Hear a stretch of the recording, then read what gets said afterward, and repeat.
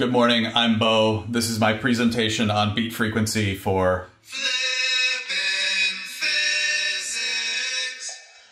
It's probably best to start by hearing what beat frequency is. So let's start with just a 440 hertz tone. And then a 441 hertz tone. And then let's play those two, frequencies together. What you hear is called the beat frequency.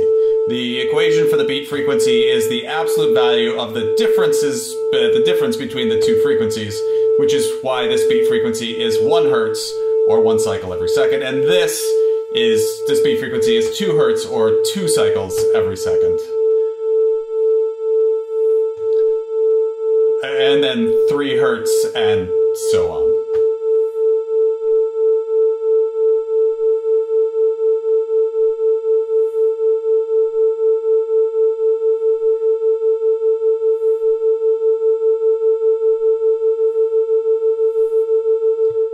Now that, now that you know what beat frequencies sound like, let's make sure you know why beat frequencies happen. When two sinusoidal frequencies are close to one another in frequency, their two wave patterns look like this.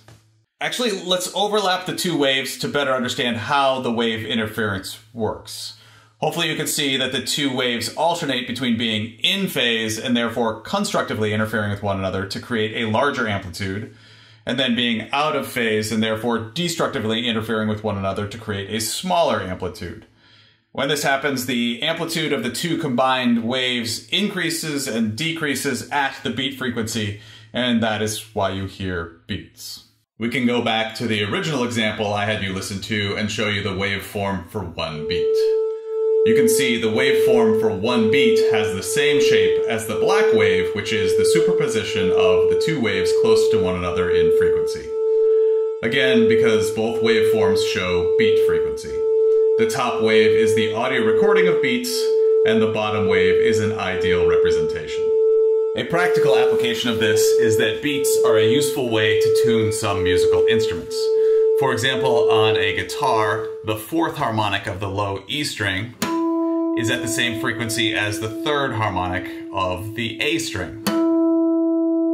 So this is the E string, and this is the first harmonic on the E string. This is the second harmonic on the low E string. And just so you know, I am holding my finger gently on the string and not pushing down to create a node at this point and to force a harmonic at this point. So this is the second harmonic, the third harmonic, and the fourth harmonic on the low E string.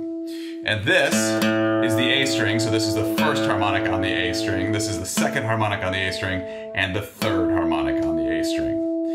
Therefore, when you play the fourth harmonic on the low E string and the third harmonic on the A string, you should not hear any beats because the two are in tune with one another. However, if one of the strings is slightly out of tune, then what you hear is beats. And what you can do is you can then adjust the frequency so you no longer hear beats and the two are in tune with one another. One more time. So again, if one of the strings is slightly out of tune with the other one, you hear beats, and what you can do is adjust the frequency so you no longer hear beats and the two are in tune with one another. A practical application of beat frequency. Thanks for learning with me. It was fun. Yeah.